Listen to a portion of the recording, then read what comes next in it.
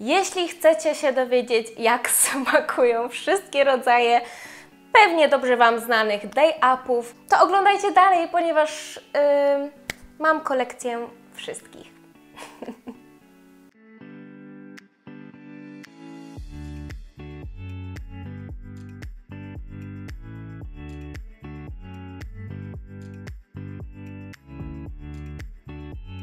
Cześć, witajcie ponownie na moim kanale. Dziś widzimy się w kolejnym teście smaku. Dziś mamy day upy, czyli te takie płynne przekąski dostępne w sklepach. I w ogóle słowem wstępu, czemu ja to robię? Gdy te day upy pierwszy raz pojawiły się na półkach sklepowych, to postanowiłam, wow, super, nowy produkt, jest on wegański, więc yy, przetestuję go dla Was na YouTubie. Potem troszeczkę się zagapiłam, pojawiały się kolejne smaki, więc stwierdzam, ok, dobra, no to teraz te nowe smaki, to, to nagram porównanie i, i tam jakiś test smaku. Znowu się zagapiłam, znowu wyszły nowe smaki i do tego stopnia, aż w końcu zdałam sobie sprawę, że mam ich pełno i walają mi się, czas w końcu ich spróbować.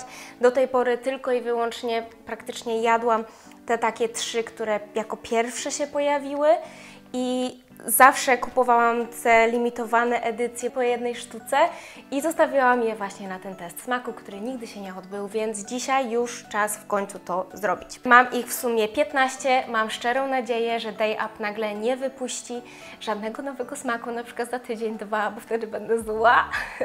I nie, ten film nie jest sponsorowany przez Day Up, e, aczkolwiek jeśli ktoś z Day Upa mnie ogląda, no to halo, halo, Jestem, uwielbiam Was, naprawdę świetny produkt. Dobra, żarciki na bok, sama to kupiłam, sama kolekcjonowałam przez wiele miesięcy. Czas testować. Więc jeśli chodzi o skład tych day-upów, tutaj mam wszystkie wegańskie opcje, bo widziałam, że są również w ofercie mm, day-upy z jogurtem naturalnym, no i takie różne wersje smakowe, które wegańskie nie są. Też ostatnio widziałam, jakoś się pojawiły takie jakieś z białym serem, twarogiem, coś w tym stylu. Teraz zajmujemy się tylko i wyłącznie wegańskimi.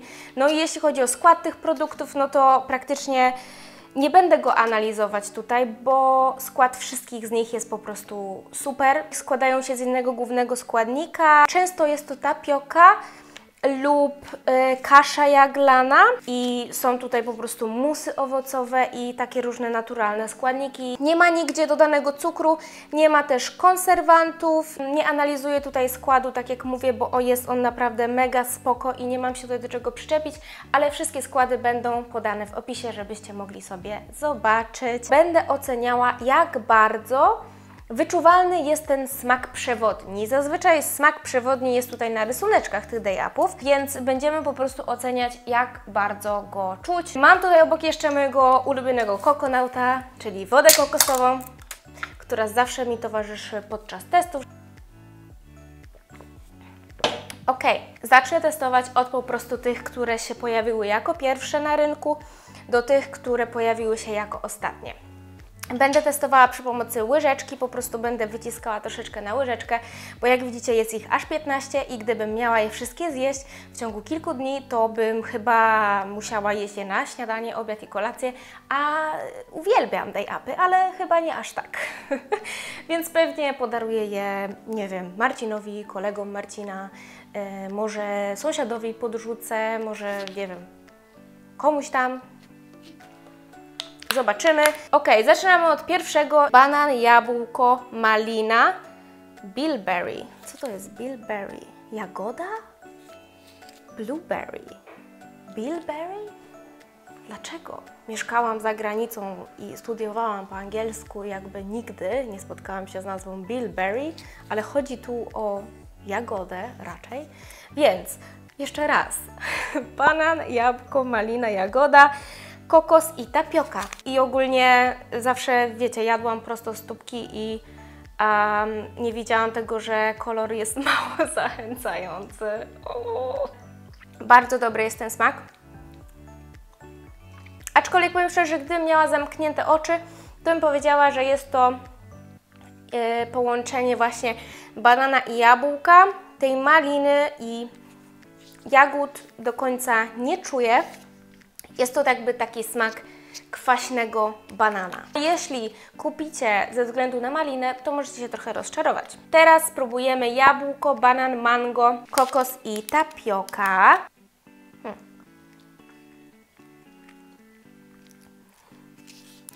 Czuję kwaskowego banana, czyli znowu ten banan jabłko, ale tutaj naprawdę wyczuwam to mango. Wyczuwam. No nie zawiedziecie się, jeśli chodzi o odwzorowanie smaku. Teraz jabłko, banan, morela, kokos, tapioka i kakao. Tego to w ogóle już nie pamiętam, jak on smakował. Kakao wyczuwalne. Bardzo smaczny, ale z tych trzech yy, chyba najmniej mi smakuje. Ja moreli po prostu tutaj nie wyczuwam. Więc to smakuje po prostu jak kwaskowy banan z kakao. Spoko, ale morelka nie jest wyczuwalna. Dobra, potem pojawiły się kolejne trzy smaki i tutaj mamy jabłko, pomarańcza, kokos, tapioka, rodzynki i kakao. Taka jakby podobna mm, wersja smakowa do tej, do tej poprzedniej z morelą. Przynajmniej opakowanie wygląda bardzo podobnie. Ok, to spróbujmy. Mmm. Jest. Jest dużo smaku. Mhm. Mega smaczne. Klasyczne połączenie czekolady i pomarańczy. Jeśli jesteście wielbicielami pomarańczowej czekolady, to naprawdę nie będziecie zawiedzeni. Jak najbardziej pomarańcza i kakao są wyczuwalne, więc plus za to. Idziemy dalej. Tutaj mamy tylko na obrazeczku granat. I jest to smak banan, granat, jabłko, kokos i tapioka. Zobaczymy, czy czujemy tutaj granat.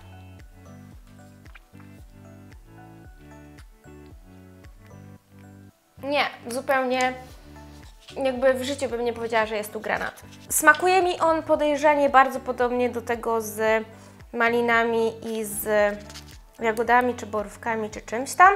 Przetestuję je szybciutko raz po razie.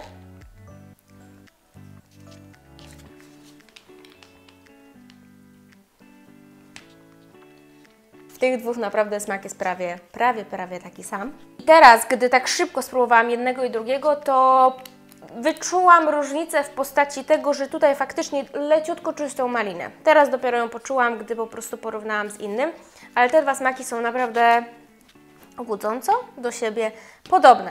Więc y, ten z granatem w ogóle mnie nie zachwycił, bo nie czuję granatu, a jest on na obrazku. Halo. Teraz coś bardzo ciekawego. Jabłko, guawa, banan, marakuja, kokos i tapioka. Ja ogólnie uwielbiam guławę. Jeśli śledzicie mnie na Instagramie, no mam nadzieję, że wszyscy mnie tam śledzicie, to tam ostatnio wrzuciłam zdjęcie y, takiego smoothie bowla z guławą. Mniam. Jest to mój ulubiony taki owoc egzotyczny. Dobra, spróbujemy. Mhm. Guława, marakuja, to, co jest na obrazku, plusik za to. Naprawdę. I teraz czas przejść do tych śmiesznych takich owsianek, które wyszły w, które wyszły w okresie jesiennym.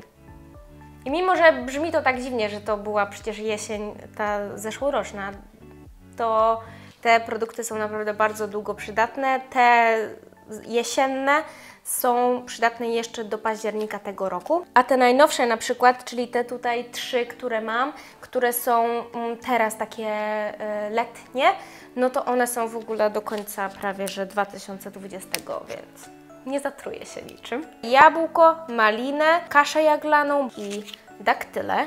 Próbujemy. Hmm, ciekawe, zupełnie inny smak. Na obrazeczku Mamy jabłko, malinę i daktyle. Wszystkie trzy wyczuwam, jak najbardziej. Tak, smak jak najbardziej odwzorowany, bardzo pyszny, malinowy, polecam. Lecimy teraz dalej. Uuu, takie jesienne klimaty faktycznie. Mamy tutaj jabłko, kokos, cynamon, rodzynki i znowu kaszę jaglaną. Oj, wyciekło mi trochę wody. A, a powódź. Mmm. Mniam. To smakuje jak prawdziwa szarlotka, czyli jabłko, cynamon, rodzynki. Mega smaczne, naprawdę. Jeśli macie ochotę na szarlotkę w płynie, szarlotkę w papce, szarlotkę na wynos do pracy, to jest to super. I wiecie co, tak sobie myślę podczas tego testu, że te day-upy uratowały mnie tak wiele razy. Dobrze, teraz kolejny smak. Jabłko, kasza jaglana, daktyle. Uuu, taka kwaśna mm, wiśnia, kokos i kakao. Ale tej kwaśnej wiśni o dziwo nie ma na rysunku. No dobra, faktycznie jest tutaj. No czyli w sumie daktyle, kakao, jabłko, wiśnia. Mmm. To jest mega smaczne. Wyczuwam wiśnie, wyczuwam kakao. Daktyle, no nie wyczuwam ich specjalnie, ale no nic dziwnego. Daktyle mają po prostu dać taki, mm, taką słodycz, więc tutaj tego nie, nie hejtuję. To smakuje jak taki lekko kwaskowy, czekoladowy tort z wiśniami. Bardzo, bardzo smaczne. Uważam, że ta edycja jesienna jest po prostu w punkt. Uważam, że aromaty są bardzo intensywne i uważam, że opakowania i nazwy w 100% odzwierciedlają po prostu to wszystko i ta jesienna owsianeczka jest super. Jest tutaj napisane, że można zamoczyć to w ciepłym kubku, czyli w kubku z ciepłą wodą i to podgrzać i wtedy macie owsiankę na ciepło. To w ogóle już jest mega. Może te opakowania nie są do końca zero waste, no bo wiecie, jest tu plastik, jest tu jakaś taka folia, jest tu coś takiego. Nie, nie, nie przeczytałam tak do końca, czy czy jest to jakkolwiek opakowanie biodegradowalne? No nie sądzę i też mi na takie nie wygląda, też e, się producent tym nie za bardzo nie szczyci. Ale tak jak mówię, gdy jest kryzysowa sytuacja, gdy naprawdę nie macie co jeść, jesteście głodni, jest to bardzo, bardzo pożywna przekąska. Teraz idziemy do edycji zimowej.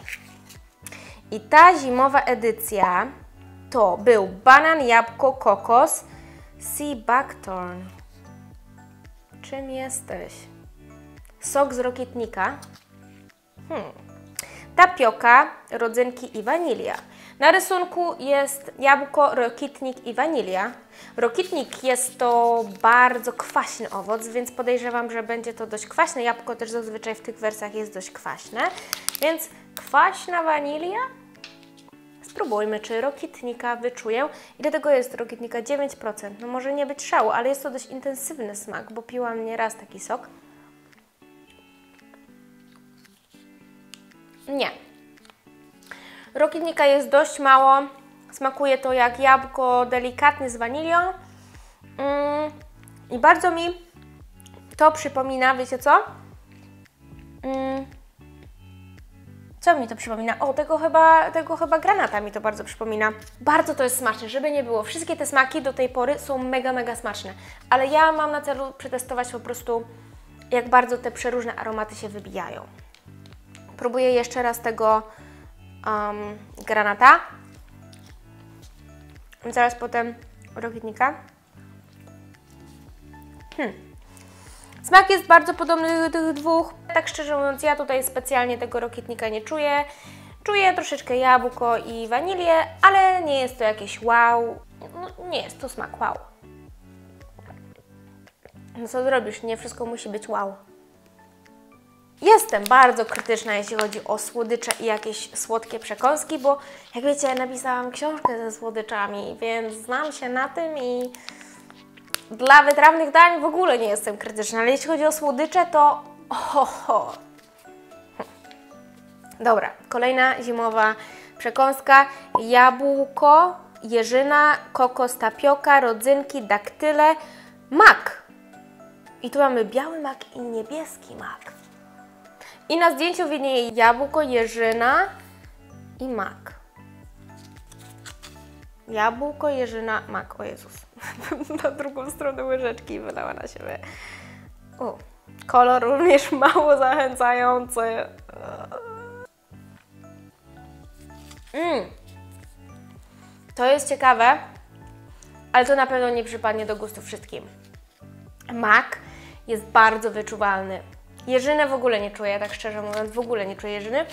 Czuję mak i jabłko, więc taki kwaskowy mak, ale ta jeżyna, tak wiecie, nie do końca. No ale zależy, co kto tam lubi. Dobra, teraz coś ciekawego. Kolejne to jest śliwka, jabłko, kokos, rodzynki, tapioka i cynamon. Na rysunku mamy jabłko, cynamon i śliwkę. Ok, spróbujmy, spróbujmy. Cynamon jest, jabłko jest. Ale czy śliwka jest? Tak, jest, jest, jest trochę śliwki, no. Czuję jabłko, czuję cynamon, czuję śliwkę, bardzo smaczne. Mm, jest to bardzo podobne do tej wersji szarlotkowej, tylko że tu jest ta szarlotka z dodatkiem śliwek, czyli troszeczkę bardziej kwaskowe. I teraz już lecimy do ostatniej edycji, czyli do wersji letniej. I tutaj to się nazywa bardzo ciekawie, bo mamy tutaj smak margarita. I mamy tutaj jabłko, kokos, truskawka, banan, limonka, tapioka, rodzynki, bazylia. Wow! Na zdjęciu jest truskawka, bazylia i limonka. O! Wyleciało mi na moją jasną kanapę. Dajcie mi chwilę, idę to zmyć. Dobra, witajcie ponownie. Kanapa uratowana. Wow. Uu. Hmm. Czuję bazylię, no, faktycznie. Szczerze, czuję kwaśnego banana z bazylią. No jabłko czuję też, jabłko, bo to jak mówię, że coś jest kwaśne, to zazwyczaj jest tam jabłko po prostu. Jakby jest to ciekawe, ale mnie nie urzekło. Jest to smaczne, ale po prostu chyba, chyba po prostu nie, nie mój styl. Teraz lecimy z pina coladą, no i już widzę, że to jest właśnie taka jakaś edycja inspirowana letnimi drinkami, więc mam tutaj jabłko, ananas, kokos, banan i tapioka. Mm, bardzo smaczne. Ananasa jest tu stosunkowo mało, delikatny aromat, ale smakuje jak pina colada. Ale oczekiwałam troszeczkę mocniejszego smaku ananasa.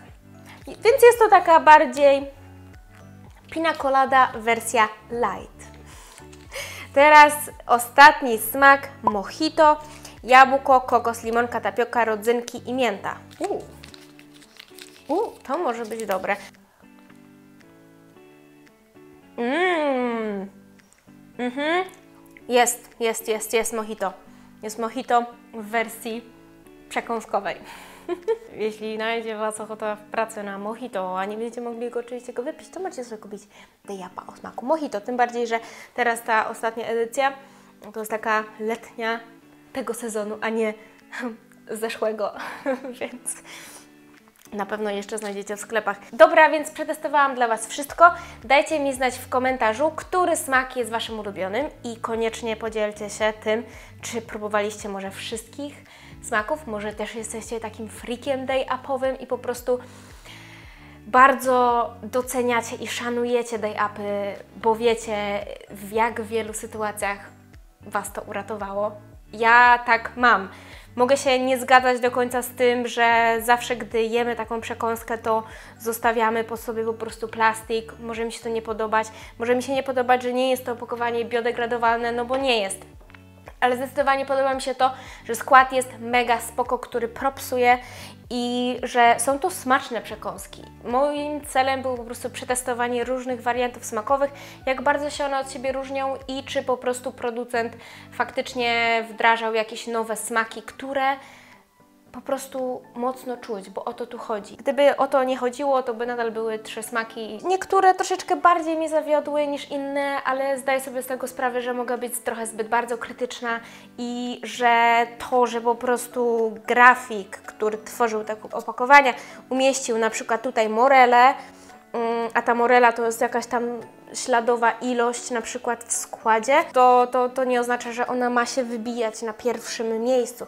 Aczkolwiek ja po prostu jestem wzrokowcem i jeśli ja na przykład bym widziała coś takiego w sklepie i widzę tą morelę i kakao, to sobie tak mówię wow, morela z kakao. No potem się okazuje, że na przykład tej moreli do końca nie czuć. Więc co, ja teraz idę wszystko włożyć do lodówki i to rozdać. i widzimy się następnym razem w następnym filmie. Mam nadzieję, że lubicie takie trochę inne filmy, testy smaku. Mi one sprawiają bardzo, bardzo dużo radości. Lubię testować nowe produkty, nowe wegańskie produkty, roślinne produkty i lubię też bardziej takie filmy w stylu lifestyle, gdzie mogę po prostu się tak rozluźnić, na luzie sobie po prostu posiedzieć przed kamerą i potestować i do Was pogadać, jakbyście siedzieli naprzeciwko mnie, jako po prostu rozmowa z koleżanką lub kolegą. Ja tak to odbieram i, i mega, mega to lubię. Więc jeśli chcecie więcej testów smaku, to tradycyjnie napiszcie w komentarzu więcej testów, to będę wiedziała o co chodzi. Kolekcjonowałam niektóre rzeczy ostatnio, żeby zrobić dla Was testy smaku, więc Miejmy nadzieję, że jeszcze w tym miesiącu Was zaskoczę. I słowem zakończenia y, zapraszam Was na moją stronę www.dietaroślinna.pl. Tam oferuję konsultacje dietetyczne, spersonalizowane diety, ale również też takie gotowe diety, które możecie sobie kupić i pobrać.